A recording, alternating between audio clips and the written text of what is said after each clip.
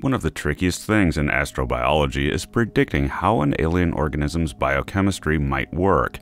Indeed, there are a number of proposed biochemistries completely different from what we find here on Earth, including hypothetical silicon based life, various alternatives to water as a solvent for biochemistry, and even extreme biochemistries that might be possible at very low temperatures, such as on the surface of Titan.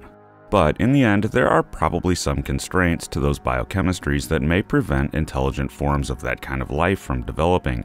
For example, intelligent alien life would probably be dependent on oxygen and its chemistry to run a large brain because there aren't a lot of suitable chemical alternatives that can do it. Yet, simple anaerobic life can handle the absence of oxygen just fine. Indeed, the first life on Earth had no use for it, and it was in fact poisonous. But that same reactivity that caused that extinction can also be used to run trillions of neurons in an intelligent being.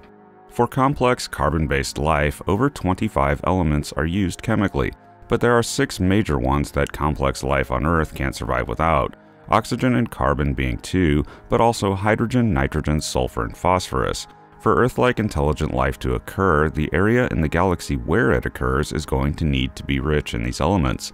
For five of them, availability isn't going to be too much of a problem, especially hydrogen. It's everywhere, locked up here mostly as water. But for one of those elements, phosphorus, scarcity may be a severe enough issue that entire sections of galaxies may not have enough of it for complex life to arise. This all comes from preliminary work done by astronomers at Cardiff University led by Jane Greaves and Phil Cigan. They were looking at two supernova remnants to see how much phosphorus was created in the explosions. Models had predicted a certain amount, but the observations didn't match, opening up the possibility that the amount of phosphorus created and blown out in a supernova varies, and that some exoplanets may end up with very little in the way of reactive phosphorus compounds being delivered by meteorite impacts.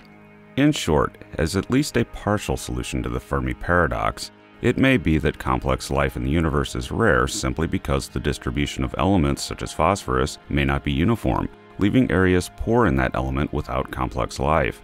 By the same token, however, some areas would be rich in those elements. We are in one of those, but it's anyone's guess right now how common areas like that are. Add that with the other hurdles that seemingly face life arising on exoplanets, and that it seems increasingly clear that Earth's conditions that led to our development had to be just so, and subject to multiple factors and a little luck to get this far. It seems under those circumstances that intelligent life may just be very rare, but the sheer astronomical numbers of galaxies, stars, and planets in this universe still are strongly in favor of intelligent life not being unique to us. It's still very likely out there. Thanks for listening. I am futurist and science fiction author John Michael Godier, currently giving a heads up.